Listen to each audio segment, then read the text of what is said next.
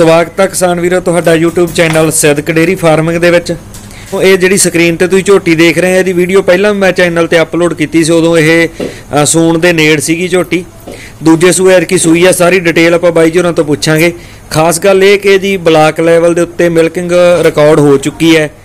ਇਹ ਅ, ਨੇ ਕਿੰਨਾ ਮਿਲਕ ਦਿੱਤਾ ਹੈ ਆਪਾਂ ਬਾਈ ਜੀ ਹੋਰਾਂ ਤੋਂ ਪੁੱਛਾਂਗੇ। ਪਰ ਇੱਕ ਗੱਲ ਮੈਂ ਤੁਹਾਨੂੰ ਦੱਸ ਦਿੰਦਾ ਕਿ ਪੂਰੇ ਪੰਜਾਬ ਦੇ ਵਿੱਚੋਂ ਅਕਤੂਬਰ ਮਹੀਨੇ ਦੇ ਵਿੱਚ ਮੁਰਾ ਮੱਝਾਂ ਦੀ ਕੈਟਾਗਰੀ ਦੇ ਵਿੱਚ ਕੁੱਲ 34 ਮੱਝਾਂ ਨੇ ਆਪਣੀ ਜਿਹੜੀ ਚਵਾਈ ਹੈ ਉਹ ਰਿਕਾਰਡ ਕਰਵਾਈ ਹੈ ਜਿਹਦੇ ਵਿੱਚੋਂ ਇਹ 9ਵੇਂ ਨੰਬਰ ਤੇ ਰਹੀ ਹੈ। ਤੇ ਫਰੀਦਕੋਟ ਜ਼ਿਲ੍ਹੇ ਦੀ ਜੇ ਆਪਾਂ ਗੱਲ ਕਰੀਏ ਤਾਂ ਮੁਰਾ ਮੱਝਾਂ ਦੇ ਵਿੱਚ ਦੋ ਮੱਝਾਂ ਦੀ ਮਿਲਕਿੰਗ ਰਿਕਾਰਡ ਹੋਈ ਹੈ ਜਿਹਦੇ ਚੋਂ ਇਹ ਪਹਿਲੇ ਨੰਬਰ ਤੇ ਉੱਤੇ ਰਹੀ ਹੈ। ਸਾਰੀ ਆਪਾਂ ਡਿਟੇਲ ਬਾਈ ਜੀ ਹੋਰਾਂ ਤੋਂ ਪੁੱਛਾਂਗੇ ਉਹਨਾਂ ਨਾਲ ਗੱਲਬਾਤ ਕਰਦੇ ਆਂ ਬਾਈ ਸਤਿ ਸ੍ਰੀ ਅਕਾਲ। ਸਤਿ ਸ਼੍ਰੀ ਅਕਾਲ ਬਾਈ ਜੀ। ਬਾਈ ਆਪਣਾ ਨਾਮ ਦੱਸੋ। ਅੰਗਰੇਜ਼ ਸਿੰਘ ਜੀ ਪਿੰਡ ਅੰਗ- ਹਰੀਨੋ ਜ਼ਿਲ੍ਹਾ ਹਾਂ। ਫਰੀਦਕੋਟ ਤਹਿਸੀਲ ਕੋਟਪੂਰਾ ਜੀ ਠੀਕ ਹੈ ਅੰਗਰੇਜ਼ ਸਿੰਘ ਪਿੰਡ ਦਾ ਨਾਮ ਹਰੀਨੋ ਹਾਂਜੀ। ਤੇ ਜ਼ਿਲ੍ਹਾ ਆਪਾਂ ਨੂੰ ਫਰੀਦਕੋਟ ਪੈਂਦਾ ਤਹਿਸੀਲ ਕੋਟਕਪੂਰਾ ਹਨਾ? ਠੀਕ ਹੈ ਬਾਈ ਜੀ। ਬਾਈ ਜੀ ਆਪਾਂ ਪਹਿਲੀ ਵਾਰ ਇਹ ਸਰਕਾਰੀ ਲੈਵਲ ਤੇ ਕੋਈ ਮੱਝ ਦੀ ਚਵਾਈ ਕਰਾਈ ਹੈ? ਹਾਂਜੀ ਇਸ ਵਾਰ ਪਹਿਲੀ ਵਾਰ ਹੋਈ ਹੈ ਜੀ। ਠੀਕ ਹੈ ਤੇ ਕਿੰਨਾ ਦੁੱਧ ਇਹਨੇ ਰਿਕਾਰਡ ਕਰਵਾਇਆ ਐਤਕੀ ਇਹਨੇ 20 ਕਿਲੋ 500 ਗ੍ਰਾਮ ਕਰਾਇਆ ਜੀ। 20 ਕਿਲੋ 500 ਗ੍ਰਾਮ ਇੱਕ ਦਿਨ ਦੀ ਐਵਰੇਜ ਇਹਦੀ ਪਈ ਹੈ। ਹਨਾ? ਹਾਂਜੀ ਹਾਂਜੀ। ਠੀਕ ਹੈ ਬਾਈ ਜੀ। ਤੇ ਬਾਈ ਜੀ ਇਹਦੀ ਖੁਰਾਕ ਬਾਰੇ ਦੱਸੋ ਜਿਹਨੂੰ ਕੀ ਆਪਾਂ ਦੇ ਰਹੇ ਹਾਂ ਖੁਰਾਕ? ਸਾਗ ਜੀ ਲੇਟੀ ਹੈ ਜੀ ਲੇਟੀ ਦੇ ਵਿੱਚ ਆਹ ਛੋਲੇ ਹੈ ਜੀ ਠੀਕ ਹੈ। ਕੀ ਹੈ ਜੀ ਠੀਕ ਹੈ। ਤੇ ਮੂੰਗੀ ਹੈ ਜੀ ਇਹ ਮਿਕਸ ਕਰਕੇ ਸਾਰੀ ਲੇਟੀ ਜੀ ਕਰ ਲਈ ਇਹਨੂੰ ਆਪਾਂ ਰਿੰਨ ਕੇ ਦਿੰਨੇ ਆ ਹਨਾ? ਹਾਂਜੀ, ਰਿੰਨ ਕੇ ਤੇ ਦੋ ਟਾਈਮ ਖਵਾਉਣੇ ਆ ਕਿ ਇੱਕ ਟਾਈਮ? ਦੋਵੇਂ ਟਾਈਮ ਵੀਰੇ। ਦੋਨੇ ਟਾਈਮ। ਹਾਂਜੀ। ਤੇ ਵਿੱਚ ਇਹਦੇ ਗੁੜ ਵਗੈਰਾ ਵੀ ਪਾਉਣੇ ਆ? ਇਹਦੇ ਗੁੜ ਵੀ ਪਾਈਦਾ ਜੀ ਸਰੋਂ ਦਾ ਤੇਲ ਵੀ ਪਾਈਦਾ ਜੀ। ਸਰੋਂ ਦਾ ਤੇਲ ਵੀ ਤੇ ਇਹ ਜਿਹੜਾ ਗੁੜ ਤੇ ਸਰੋਂ ਦਾ ਤੇਲ ਇਹ ਰਿੰਨਣ ਮੌਕੇ ਪਾ ਦਿੰਨੇ ਆਪਾਂ? ਇਹ ਰਿੰਨ ਕੇ ਤਿਆਰ ਹੋ ਜਾਂਦੀ ਹੈ ਜੀ ਉਹ ਪਾ ਦਈਦਾ ਜੀ। ਠੀਕ ਹੈ ਗੁੜ ਪਈ- ਗੁੜ ਰਿੰਨਣ ਲੱਗਿਆ ਪਾਉਣੇ ਆ ਤੇ ਤੇਲ ਬਾਅਦ ਚ? ਹਾਂਜੀ ਗਰਮ ਗਰਮ ਦੇ ਵਿੱਚ ਪਾ ਦਈਦੀ ਜੀ। ਠੀਕ ਹੈ ਤੇ ਦੋ ਟਾਈਮ ਆਪਾਂ ਇਹਨਾਂ ਨੂੰ ਖਵਾਉਣੇ ਹਨਾ? ਤੇ ਪੱਠੇ ਵੀ ਦੋ ਟਾਈਮ ਹੀ ਪਾਉਣੇ ਇਹਨਾਂ ਨੂੰ ਹਾਂਜੀ ਸਰ ਹਾਂਜੀ। ਠੀਕ ਹੈ ਬਾਈ ਜੀ। ਤੇ ਬਾਈ ਜੀ ਇਹ ਝੋਟੀ ਨੂੰ ਕਿੰਨਾ ਚਿਰ ਹੋ ਗਿਆ ਸੂਈ ਨੂੰ? ਇਹਨੂੰ ਹੋ ਗਿਆ ਜੀ 2 ਮਹੀਨੇ ਦੇ ਕਰੀਬ ਹੋਊਗਾ ਜੀ। 2 ਮਹੀਨੇ ਦੇ ਕਰੀਬ ਹੋ ਗਏ। ਬਾਈ ਜੀ ਇਹਨੇ ਐਤਕੀ ਕਾਫ ਕੀ ਦਿੱਤਾ ਹੈ? ਬੱਚਾ ਕੀ ਦਿੱਤਾ ਇਹਨੇ? ਇਹ ਜੀ ਕੀ, ਮੇਲ ਆ ਜੀ। ਮੇਲ ਕਾਫ ਹੈ। ਤੇ ਕਿਹੜੇ ਸਾਨ ਦਾ ਸੀ ਉਹ? ਇਹ M29 ਦਾ ਜੀ। M29 ਦਾ। ਇਹ ਕਿਸਾਨ ਵੀਰੋ ਜਿਹੜੀ ਪਹਿਲਾਂ ਵੀਡੀਓ ਪਾਈ ਆ ਤੁਸੀਂ ਉਹ ਵੀ ਵੀਡੀਓ ਦੇਖ ਸਕਦੇ ਆ ਸਾਰੀ ਡਿਟੇਲ। ਉਸ ਵੀਡੀਓ ਦੇ ਵਿੱਚ ਵੀ ਦਿੱਤੀ ਹੋਈ ਹੈ ਇਹਨੇ M29 ਦੇ ਕੱਟੇ ਨੂੰ ਜਨਮ ਦਿੱਤਾ ਸਾਹਮਣੇ ਸਕਰੀਨ ਦੇ ਉੱਤੇ ਤੁਹਾਨੂੰ ਦਿਸ ਰਿਹਾ। ਤੇ ਇਹਦਾ ਪਹਿਲੇ ਸੂਏ ਦਾ ਬੱਚਾ ਕੀ ਸੀਗਾ?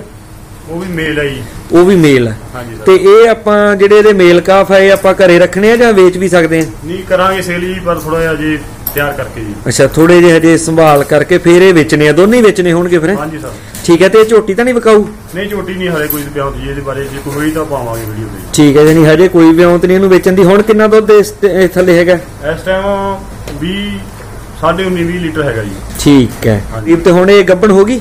ਹਾਂਜੀ ਇਹ ਲਾਡਲੇ ਕੋਲ ਤੋਂ ਗੁੱਪ ਗਾ ਭਾਈ ਠੀਕ ਹੈ ਲਾਡਲੇ ਬੁੱਲ ਤੋਂ ਇਹਦੀ ਏਆਈ ਕਰਵਾਤੀ। ਕਿੰਨੇ ਦਿਨ ਹੋ ਗਏ ਏਆਈ ਕਰਵਾਈ ਨੂੰ? ਇਹਨੂੰ ਹੋ ਗਏ ਜੀ 10 ਕੁ ਦਿਨ 10 12 ਦਿਨ ਦੇ ਕਰੀਬ ਹੋਏ 10 12 ਦਿਨ ਹੋ ਗਏ ਤੇ ਇਹਦਾ ਜਿਹੜਾ ਸੀਮਨ ਸੀ ਲਾਡਲੇ ਬੁੱਲ ਦਾ ਉਹ ਆਪਾਂ ਆਪ ਲੈ ਕੇ ਆਏ ਜਾਂ ਡਾਕਟਰ ਵੀਰ ਤੋਂ ਲਿਆ? ਹਾਂਜੀ ਉਹ ਆਪ ਲੈ ਕੇ ਆਂਦਾ ਜੀ। ਪਹਿਲੀ ਵੀਡੀਓ ਵੀ ਪਾਇਆ ਸੀ ਆਪਾਂ ਆਪ ਜਾ ਕੇ ਲੈ ਕੇ ਆਏ ਜੀ। ਠੀਕ ਹੈ ਉੱਥੋਂ ਹਰਿਆਣੇ ਦੇ ਵਿੱਚੋਂ ਆਪ ਜਾ ਕੇ ਲੈ ਕੇ ਆਂਦਾ ਹੈ ਨਾ? ਹਾਂਜੀ ਹਾਂਜੀ ਸਰ ਠੀਕ ਹੈ ਵੀਰ ਜੀ। ਕਿਸਾਨ ਵੀਰੋ ਦੇਖ ਸਕਦੇ ਹੋ ਤੁਸੀਂ ਅਹ, ਝੋਟੀ ਜਿਹੜੀ ਇਹ ਇਹਨੇ ਬਲਾਕ ਲੈਵਲ ਦੇ ਉੱਤੇ ਹੁਣ ਮਿਲਕ ਰਿਕਾਰਡ ਕਰਵਾ ਦਿੱਤਾ। ਤੇ ਇਹਦਾ ਦੁੱਧ ਜਿਹੜਾ 20 ਕਿਲੋ 500 ਗ੍ਰਾਮ ਰਿਹਾ ਸਾਰੇ ਦਿਨ ਦਾ। ਤੇ ਇਹਨੂੰ ਬਾਈ ਜੀ ਹੋਰਾਂ ਨੇ ਇਸ ਵਾਰ ਤਾਂ ਵੇਚਣਾ ਨਹੀਂ ਹੈ, ਇਹਦੀ ਖੁਰਾਕ ਵੀ ਤੁਹਾਨੂੰ ਦੱਸਤੀ ਹੈ। ਤੇ ਆਉਂਦੇ ਸਾਲ ਹੋ ਸਕਦਾ ਜਦੋਂ ਇਹ ਹੁਣ ਅੱਗੇ ਸੂਣ ਦੇ ਨੇੜ ਹੋਵੇ ਤਾਂ ਉਦੋਂ ਬਾਈ ਜੀ ਹੋਰਾਂ ਨੇ ਇਹਨੂੰ ਸੇਲ ਕਰਨਾ ਹੋਵੇ ਤਾਂ ਉਹਦੀ ਵੀਡੀਓ ਵੀ ਆਪਾਂ ਚੈਨਲ ਦੇ ਉੱਤੇ ਕੋਸ਼ਿਸ਼ ਕਰਾਂਗੇ ਅਪਲੋਡ ਕਰਨ ਦੀ। ਬਾਕੀ ਬਾਈ ਜੀ ਹੋਰਾਂ ਬਾਰੇ ਤੁਹਾਨੂੰ ਦੱਸ ਦਿੰਦਾ ਮੈਂ। ਪਹਿਲਾਂ ਵੀ ਦੱਸਿਆ ਸੀਗਾ ਕਿ ਇਹ ਹਰਿਆਣੇ ਦੇ ਵਿੱਚੋਂ ਜਾ ਕੇ ਆਪ ਸੀਮਨ ਲੈ ਕੇ ਆਏ ਸੀ, ਜਿਹਦੇ ਚ ਲਾਡਲਾ ਤੇ ਨਾਲ ਇੱਕ ਨਵਾਬ ਬੁੱਲ ਹੈ ਜਿਹੜਾ ਉਹਦਾ ਸੀਮਨ ਤੇ ਇਹਨਾਂ ਨੇ ਹੁਣ ਇਸ ਟਾਈਮ ਜਿਹੜੀ ਸਕਰੀਨ ਦੇ ਉੱਤੇ ਸਾਹਮਣੇ ਤੁਹਾਨੂੰ ਲਾਲ ਤਲਿਆਰੇ ਵਾਲੀ ਝੋਟੀ ਦਿਸਦੀ ਹੈ, ਉਹਦੇ ਨਵਾਬ ਦਾ ਸੀਮਨ ਰਖਾਇਆ ਹੋਇਆ। ਹੈ ਤੇ ਆਹ ਮੱਝ ਜਿਹੜੀ ਤੋਕੜ ਹੈ ਇਹ ਇਹਦੇ ਲਾਡਲੇ ਬੁੱਲ ਤੋਂ ਇਹ ਗੱਬਣ ਹੈ ਇਹਦੇ ਵੀ ਇਹ ਆਈ ਜਿਹੜੀ ਲਾਡਲੇ ਬੁੱਲ ਦੀ ਕੀਤੀ ਹੈ। ਤੇ ਇੱਕ ਇਹ ਝੋਟੀ ਜਿਹਦੇ ਕੰਨ ਦੇ ਵਿੱਚ ਤੁਸੀਂ ਟੈਗ ਪਾਇਆ ਦੇਖ ਰਹੇ ਆ, ਇਹ ਝੋਟੀ ਵੀ ਲਾਡਲੇ ਬੁੱਲ ਤੋਂ ਗੱਬਣ ਹੈ ਹੁਣ।